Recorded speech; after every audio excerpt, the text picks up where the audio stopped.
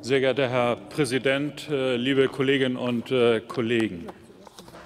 Vor neun Tagen hat der Bundesgerichtshof äh, entschieden, dass die Kreditanstalt für Wiederaufbau 120 Millionen Euro Schadensersatz leisten muss an die Telekom für einen Vorgang, der eine ganze Zeit von Jahren zurückliegt. Vor elf Jahren hat Rot-Grün seinerzeit in der Regierungsverantwortung den Versuch gemacht, äh, zu privatisieren, indem äh, die dritte Tranche von Telekom-Aktien auf den Markt äh, gebracht wurde. Dabei hat man sich, wie wir heute feststellen dürfen, beziehungsweise das Gericht festgestellt hat, offenbar nicht besonders klug verhalten. Denn wir sollten uns ja bemühen, mit Umsicht, mit Weitsicht und mit Wissen vorzugehen. Umsicht war es äh, eindeutig nicht, denn schon ganz kurze Zeit, nachdem die Aktie für etwas über 66 Euro an den Markt gegangen ist, hatte sie nur noch einen Wert von 10 Euro, also über 80 Prozent Verlust. Und das, obwohl man gerade diese Aktie als Volksaktie und das Volk gebracht hat und damit auch äh, ganz bestimmt das Publikum ansprechen wollte, dieses war ein Verhalten, wo man heute eindeutig sagen kann, die Last, den Schaden davon haben seinerzeit diejenigen getragen, die als kleine Leute darauf vertraut haben, dass sie ihr Geld in Aktien einmal anlegen sollen. Es war, es war auch nicht weitsichtig, denn jetzt, elf Jahre später, kommt äh, die Quittung vom Bundesgerichtshof, indem er nämlich äh, bescheinigt, dass ganz offenbar in dem Prospekt, der seinerzeit ausgelegt wurde und Grundlage für den Verkauf dieses Aktienpaketes war, die Immobilien in den USA deutlich überbewertet äh, waren und dieser Fehler eben heute gerügt wird und deswegen die Kreditanstalt für Wiederaufbau, die im Auftrag des Bundes diese Aktien an den Markt gebracht hat, zum Schadensersatz äh, verurteilt wird.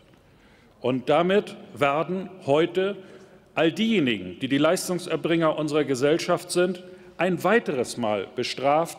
Denn unabhängig von der Frage, die noch gerichtlich geklärt werden muss, ob die Kreditanstalt für Wiederaufbau diese 120 Millionen nun aus eigenem Topf bezahlen muss oder auf den Bund kommt und der nun wieder in Regress genommen wird, fehlen der Kreditanstalt für Wiederaufbau auf jeden Fall diese 120 Millionen Euro für ihr segensreiches Wirken, zum Beispiel bei Themen, die wir hier im Bundestag jedes Mal wieder diskutieren, von Städtebausanierung, von äh, Thermosanierung und Ähnlichem. Und das ist ein Schaden, der der Bundesrepublik Deutschland jetzt entsteht durch rot-grünes Fehlverhalten in 2000.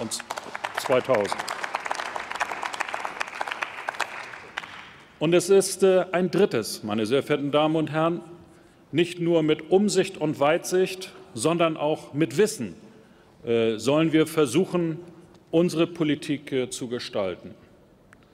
Und Wissen können wir beim besten Willen bei dieser Entwicklung nicht bestätigen, Hans Eichel und der damaligen rot-grünen Regierung.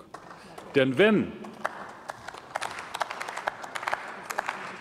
denn wenn wir Wissen bescheinigen würden, dann würde bei dieser Bewertung durch den Bundesgerichtshof, wo ja falsche Zahlen genannt worden seien, die Alternative nur sein können, dass es sich um vorsätzlichen Betrug handelt. Und das wollen wir auch der damaligen Regierung heute nicht unterstellen. Insofern, das wäre in der Tat auch schlimm, Kollege Kaas.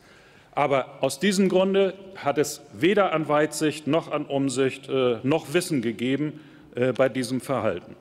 Und wenn man daraus heute überhaupt eine Lehre ziehen will, dann können wir nur einladen, sich zu beteiligen an einer Grunddiskussion, die wir als CDU basierend auf Ludwig Erhard schon immer gesagt haben, dass wir eben auch wollen und wünschen, dass auch gerade diejenigen Menschen, die in der Lage sind, Kraft eigener Leistung den einen oder anderen Euro auf die hohe Kante und für die eigene Altersversorgung äh, einzusetzen, dass diejenigen nicht das Vertrauen verlieren darin, Geld in Unternehmen zu investieren, in Zukunft zu investieren und, wie haben Sie es einmal genannt, Beteiligung am Produktivkapital auch wirklich zu nutzen. Dafür bedarf es aber eines Vertrauens Und wer ist da nicht mehr aufgerufen als eine Bundesregierung, ein Bundestag, die öffentliche Hand, genau für dieses Vertrauen zu werben und es nicht aufs Spiel zu setzen, wie Sie es gemacht haben?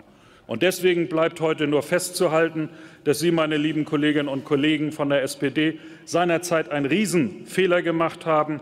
Und heute bleiben Sie oder können wir Sie nur aufrufen, es lieber uns nachzumachen und daran zu denken bei allem Handeln, dass wir Umsicht, Weitsicht und Wissen benötigen, wenn wir für die Menschen in unserem Land etwas Positives bewirken wollen. Dankeschön.